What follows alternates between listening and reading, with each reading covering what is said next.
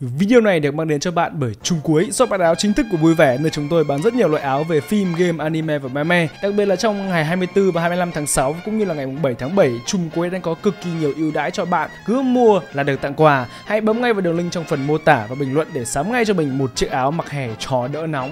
Trái với những gì người ta thường nói thì sinh viên ngoại thương không tự tin đến thế, tại vì học ở ngoại thương thì chỉ biết ngượng thôi. Trường ngoại thương cùng những tiếng tăm của nó chắc nhiều người cũng biết. Cơ sở một của trường nằm ở phố Chùa Láng, nơi mà có một ngôi chùa tên là Láng.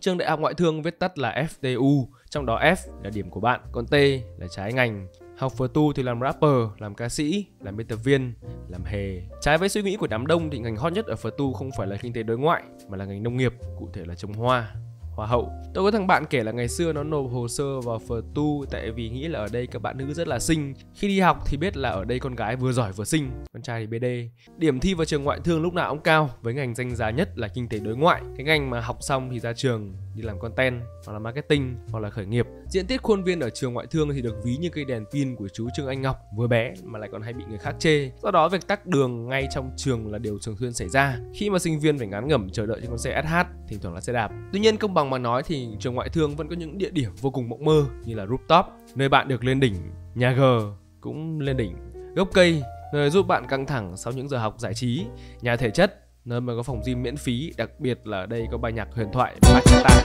và hơn hết là phở thứ mà làm nên thương hiệu cho trường đại học ngoại thương là những người đang ngồi học ở đó. Theo một trang web mà tôi mở trên mạng thì chất lượng sinh viên ở ngoại thương luôn đứng top đầu trên toàn quốc. Chắc là mấy ông khảo sát quên khảo sát tôi. Hình ảnh một sinh viên ngoại thương đầy năng động dường như đã là mặc định trong mắt rất nhiều người. Quanh năm suốt tháng liên tục là những sự kiện do câu lạc bộ tổ chức. Số câu lạc bộ ở phở thì nhiều tương đương với số hater tưởng tượng của các rapper.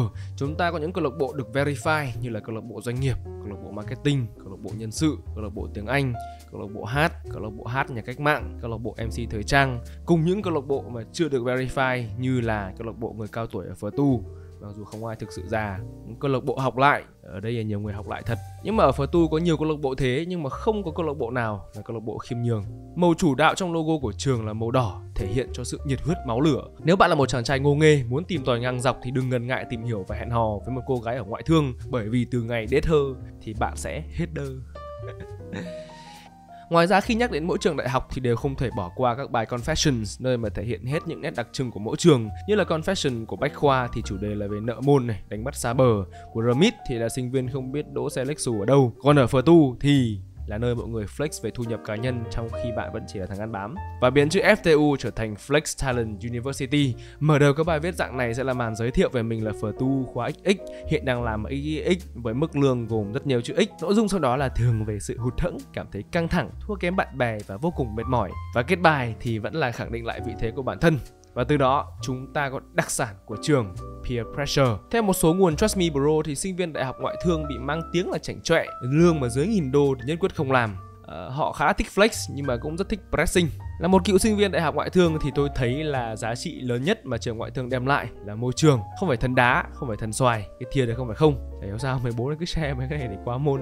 Tiện nhắc đến xoài thì mỗi đến mùa xoài chín, nhà trường sẽ thông báo là thu hoạch và mời mọi người đến thưởng thức. Còn mấy đứa mồm hay than phiền về trường thôi, nhưng mà được mời thì vẫn đến ăn hút vội. Thậm chí là tết đến xuân về, sinh viên còn được nhà trường mừng tuổi, tiền tươi thóc thật. Những lúc như thế thấy yêu trường phết. Nói chung là được học ở đại học ngoại thương là một vinh dự rất lớn. Ở đây thì toàn là những thầy cô top đầu, sinh viên đầu vào, cũng toàn là những người sáng giá. Là một người được tuyển thẳng vào trường vì được giải học sinh giỏi quốc gia, được học ở lớp tiên tiến ưu tú nhất trường thì tôi thấy là môi trường ở đây rất tốt nhờ peer pressure của các bạn mà giờ tôi có động lực để trở thành một chuyên gia trong ngành sáng tạo nội dung với thu nhập lên đến 5 đến 7 nghìn đô một tháng. Nhưng mà tôi vẫn luôn cảm thấy mình cần phải cố gắng nhiều hơn và cuộc sống tương lai thì không biết đi về đâu. Thậm chí đôi lúc còn thấy là trống rỗng. Hy vọng là cái đoạn tâm sự mà tôi vừa bốc phét ra sẽ làm bạn thấy yêu trường đại học ngoại thương hơn. Tôi là vui vẻ, đừng quên đăng ký cho hệ thống kênh của vui vẻ để không bỏ lỡ bất kỳ video nào. Xin chào và hẹn gặp lại.